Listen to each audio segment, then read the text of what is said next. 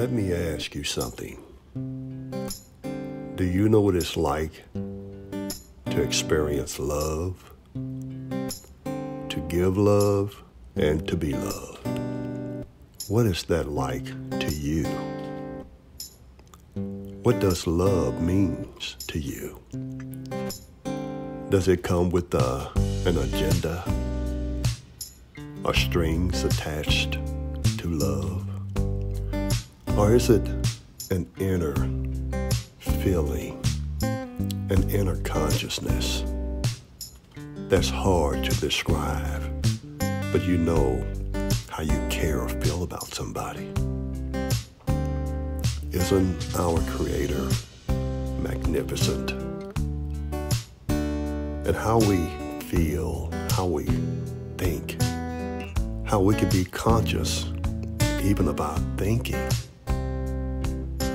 kind of love that you have for a child, is it the same that you have for your spouse, your mate, your parents, your siblings, your best friend? When you think about love, it's almost like an abstract thought because it varies from one person to another. I thank my Creator that I'm able to experience such an emotion, such a feeling. Love. Something that we need more of, don't we? So, I highly encourage you, if you've been postponing, putting off, telling someone how you feel about them, don't hesitate any longer. You can text, but preferably a call or personal visit is even better. To let someone know how you truly feel about them. If you have to go to them in hate and anger, I encourage you, postpone that. It's not necessary because anger will only fuel anger. But even if someone comes at you in an angry state, you shall love.